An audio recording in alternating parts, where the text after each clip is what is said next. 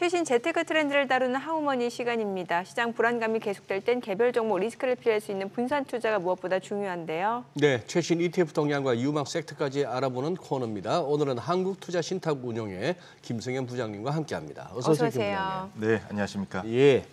자, 이제 벌써 뭐 4월도 이제 하순에 접어들었습니다. 네.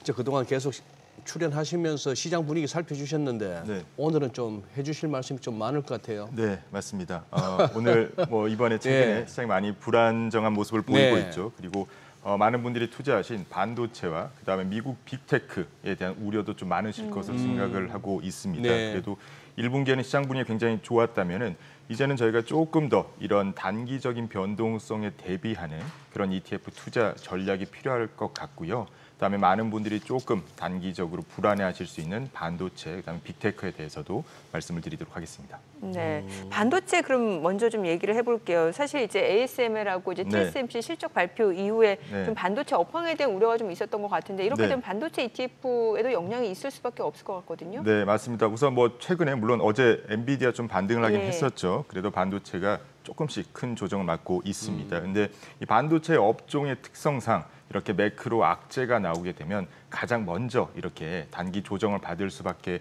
없고요. 최근에 지난주 ASML이라든지 아니면 이 TSMC 실적 발표 때 약간의 우려 사항들이 있었습니다. 어, 그렇기 때문에 우선 단기적으로는 저희가 조금 반도체에 대한 비중을 조금 줄이고 아니면 포지션이 없는 분들은 대신 조금씩 매수할 좋은 시기라고 생각을 하고 있습니다만 단기적인 충격에는 저희가 좀 대비를 해야 될 것 같고요. 그래도 어, 안에 있는 종목들의 실적 발표를 보게 되면은 뭐 AI에 대한 전망이 뭐 안 좋아졌다거나 그런 것보다는 좀 단기의 매크로 악재, TSMC 같은 경우도 대만의 이 지진 과 같은 이런 단기 악재들이 좀 많았습니다. 그래서 어, 중장기적으로는 여전히 AI와 반도체에 대해서는 좋은 view를 가지고 있고요. 대신에 5월 한 21일, 22일 그때쯤에 이 엔비디아의 실적 발표가 있습니다. 그때까지는 조금 이렇게 단기 변동성에는 주의를 하셔야 될 것이라고 저희는 생각하고 있습니다. 그러나 어, 제가 여기 오기 전에 또 기사를 하나 또 봤습니다. 네. 어, 뭐 소프트뱅크 같은 경우도 이 챗 GPT에 대항하기 위해서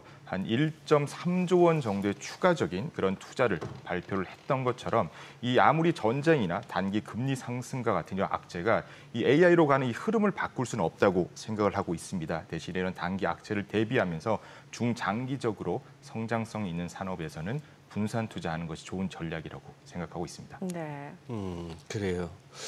자, 지금 네. 음, 여전히 그러면 이제 반도체에 대해서는 네, 네, 네. 어, 어떤 긍정적인 시각을 갖고 계신데, 네. 자, 그래요. 지금 반도체 믿을 구석은 반도체뿐이다. 네.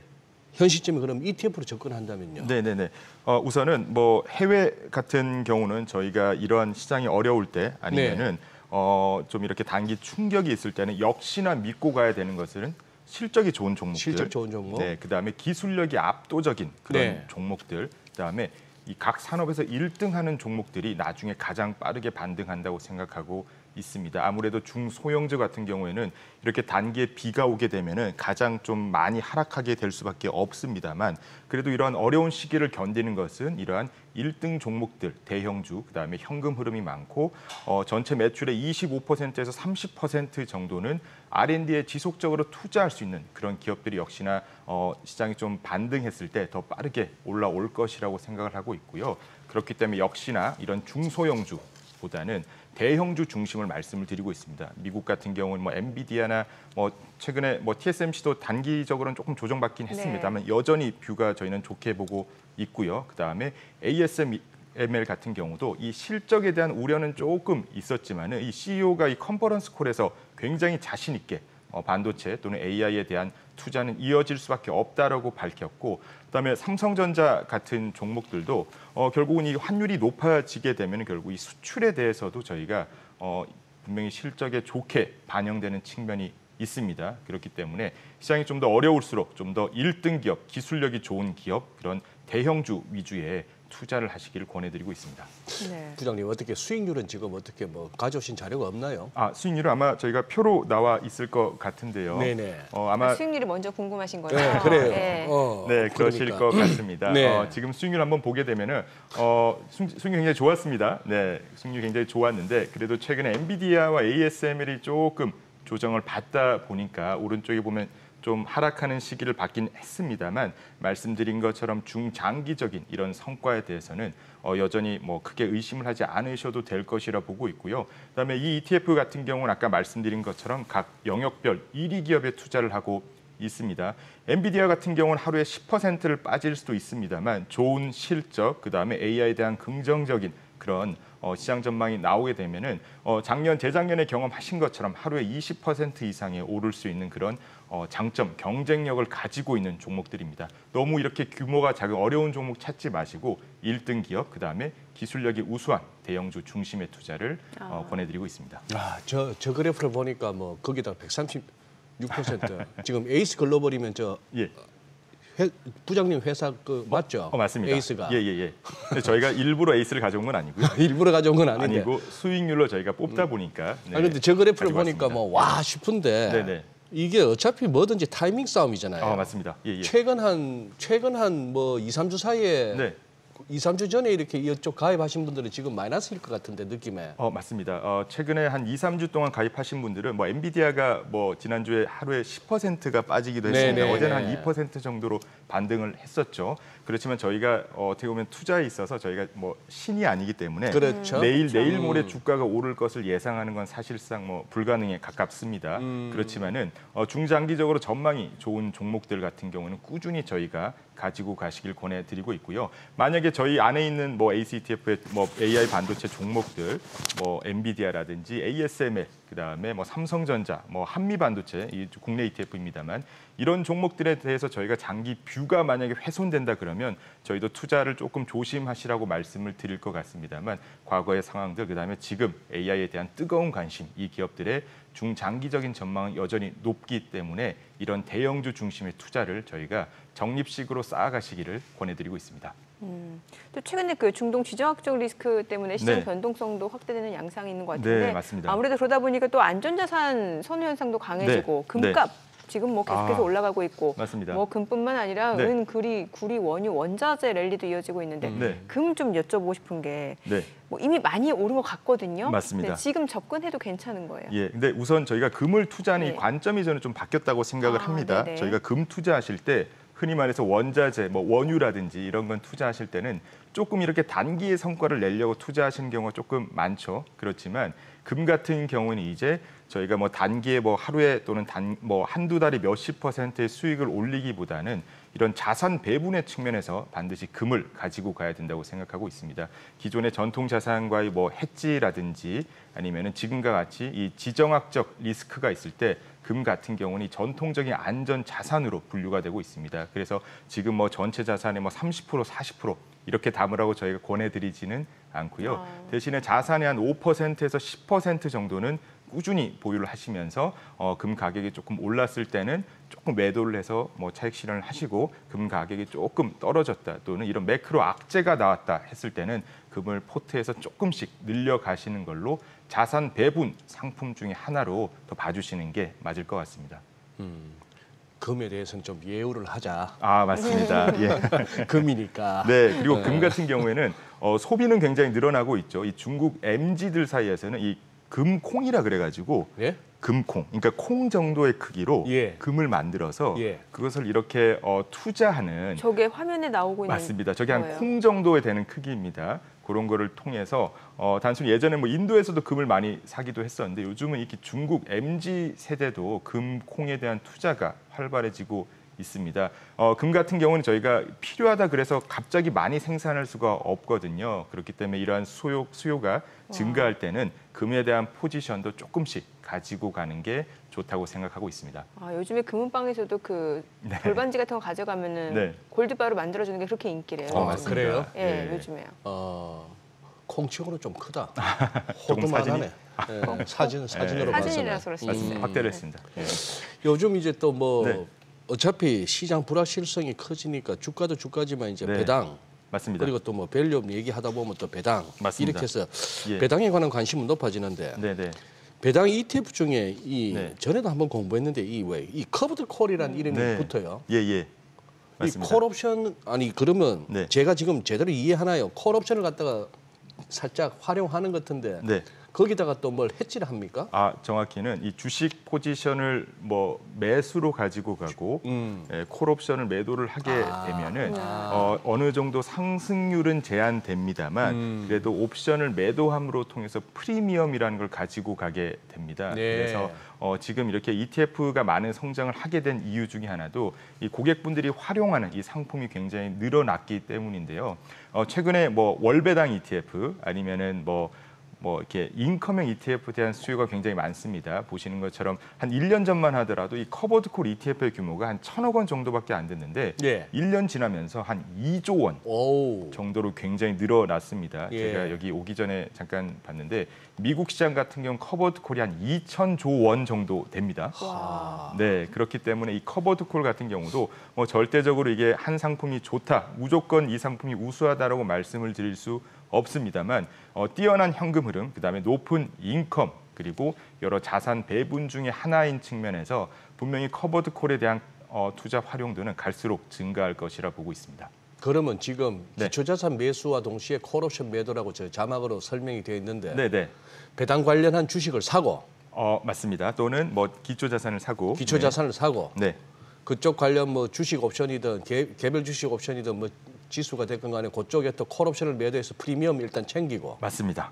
프리미엄을 챙기니까 네. 수익은 나는데 어, 상승이 제한되어 상승이 있고 제한돼 있고. 맞습니다. 대신에 꾸준히 현금 흐름을 현금. 받는 그런 음. 어, 어, 떻게 보면은 어, 미래 성장 그러니까 주가의 급등을 조금 포기하는 대신에 네. 현재 이렇게 우수한 현금 흐름을 받는 그런 구조라고 보시면 될 것 같습니다. 음. 그러니까 배당 받는 거 좋아하시는 분들한테 굉장히 적격인 상품일 수 있네요. 어 맞습니다. 예, 예, 예. 아니 지금 부장님 계신 한투 운용에서도 마침 네. 때마침 때마침 오늘, 오늘 네. covered call ETF 맞습니다. 출시가 됐어요. 됐습니다. 네, 네. 어쩜 이렇게 공교로울 걸 어. 공교로울까 우리 ETF 코너는 마침내. 어, 마침내. 맞습니다. 어, 굉장히 공교롭게 예.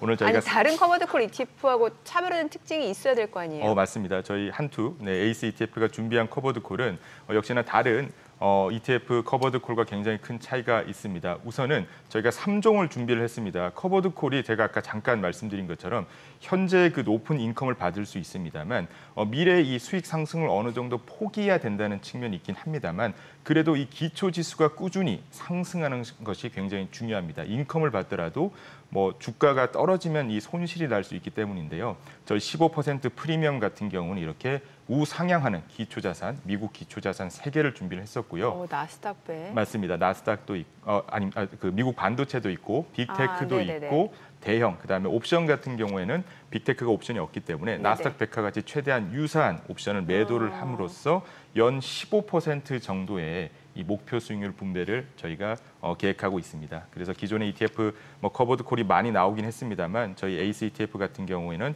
기존에 없었던 뭐 만기 하루짜리 zero date 옵션을 활용해 가지고 상대적으로 높은 프리미엄 그다음에 꾸준히 우상향하는 미국 기초 자산을 활용해서 저희 covered call 3종을 공교롭게 오늘 출시했습니다. 아니 왜 매주 네. 시작하는 월요일도 아니고 화요일 날 출시하는 이유가 있어요? 아 저희가 뭐 화요일 같은 경우는 뭐 저희가 내부 뭐 상장 스케줄이라든지 음. 이런 걸 조금 더 맞춰서 하기 때문에 뭐 요일은 뭐 화요일도 될 수도 있고 목요일도 될 수도 있습니다. 이런 거 뭐 준비하는 일정에 따라서 요일은 조금씩 바뀔 수가 있습니다.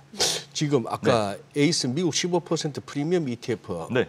지금 아까 보니까 목표 분배 수익률 약 15%. 아, 맞습니다. 예, 예. 그러니 지금 이거 확실하게 하시죠. 예. 15%가 확정이 아니고 네. 목표라는 거죠. 맞습니다. 요거는. 저희가 분명히 성과가 안 되면은 15%가 안 될 수도 있는 거죠. 안 될 수도 있습니다. 그래서 이 목표라는 것이 어, 15%가 당연히 보장된 것은 절대 아닙니다. 어, 대한민국에 있는 뭐 또는 미국에 있는 모든 covered call이 특정 수익률을 보장하는 것은 어떠한 ETF도 없습니다. 네. 대신에 저희가 과거에 충분한 시뮬레이션을 통해서 15% 정도는 충분히 저희가 어, 고객분들한테 드릴 수 있다라는 그 시뮬레이션 과거 판단에 따라서 15%라 말씀을 드린 거고요. 예. 어, 극단적인 시장 상황이 와서 변동성이 너무 적어지게 돼서 프리미엄이 안 나오는 상황이 되면은 당연히 15%가 안 나올 수 있습니다만 과거 시뮬레이션을 통해서 충분히 15%는 저희가 드릴 수 있다라는 판단으로 상품을 출시하게 됐습니다. 뭔가 따박따박 확정적으로 뭘 넣어준다고 약속하고 처음에 들어오면 그거 대부분 네. 폰지 아니면 사기예요. 아, 그럴 수 있습니다. 예, 예, 그럴 예. 수가 있고. 네. 아니 그런데 요거 요거 5천만 원 넣으면 62만 원 배당 우리 작가님이 이렇게 써- 써놓으셨는데 네네네. covered call 이- 지금 5천만 원 넣으면 62만 원 배당 이게 월 62만 원. 월입니다.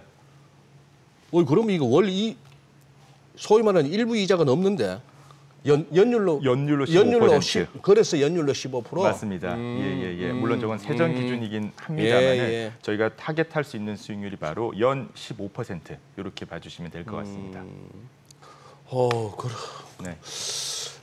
근데 좀 네. 사실 이제 장이 이렇게 네. 좀 흔들리니까 네, 네. 뭐 ETF들 무슨 뭐 용빼는 재주 있습니까? 장 빠지면 같이 어. 수익률 떨어지는 거고. 맞습니다. 예. 그래서 요 상품 covered call 같은 경우도 네. 제가 말씀드린 것처럼 무조건 좋은 상품 없다고 네, 말씀드렸지 네. 않습니까? 그래서 만약에 시장이 어, 10%를 빠졌다가 다음 날에 10%가 바로 회복하게 되면 네. 만약에 뭐 주식을 그냥 갖고 있었다라고 하게 되면은 그냥 이렇게 수익률이 뭐뭐 회복이 됩니다만 covered call 같은 경우 말씀드린 것처럼 상단이 막혀져 있습니다. 네. 그래서 만약에 시장이 어, 이 상품 같은 경우는 점진적으로 상승하거나 아니면은 뭐 조금씩 이렇게 횡보하는 그 장에 조금 더 유리한 상품이고요. 그렇기 때문에 뭐 시장이 만약에 극단적으로 떨어져서 반등하게 되면은 기존의 뭐 ETF 일반 주식형 ETF 대비해서 회복은 좀 덜할 수는 있습니다.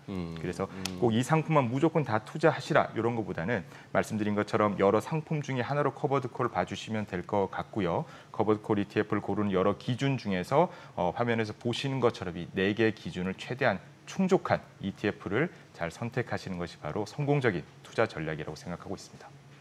네. Sell in May 네.